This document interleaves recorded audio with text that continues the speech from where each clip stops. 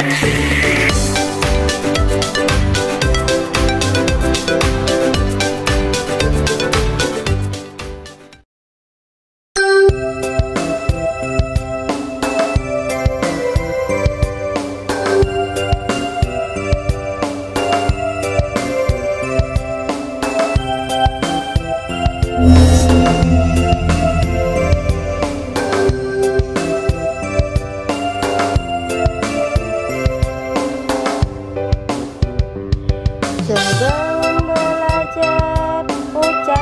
setelah belajar ucapkan hamdalah agar terbiasa ingat pada Allah.